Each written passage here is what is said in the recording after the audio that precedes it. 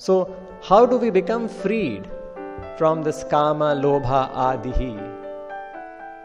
We know the process. In the Bhagavatam, it is mentioned. Every day we chant that verse Nashta prayeshu abhadreshu nityam bhagavata sevaya bhagavati uttama shloke bhaktir bhavati naishtiki.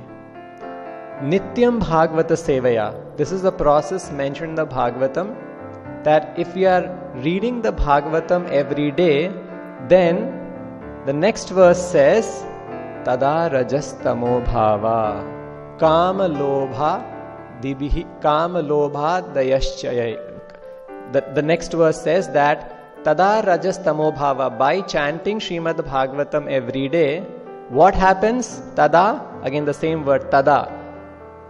Kama Lobha Tada Rajastamo Bhava. This we are all in the influence of the rajogun and tamogun mode of passion and mode of ignorance we will become freed from them.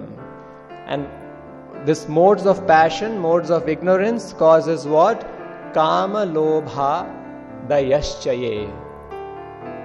Cheta eter anavidham. This cheta, cheta means mind. This kama, lobha, adi is all there in our mind.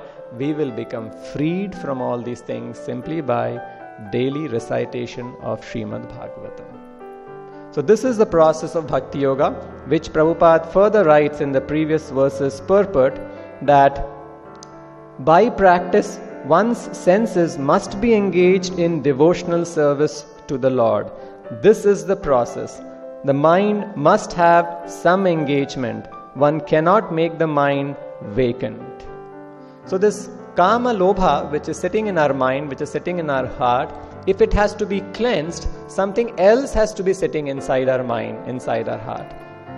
And that is if we fill our minds and heart with the messages of the Srimad Bhagavatam, with the glories of the Supreme Personality of Godhead, then that replaces Kama, Lobha, Adi from our mind and we become freed from them. And then we start understanding who we really are. Hare Krishna. Subscribe to our channel and press the bell icon to never miss any updates.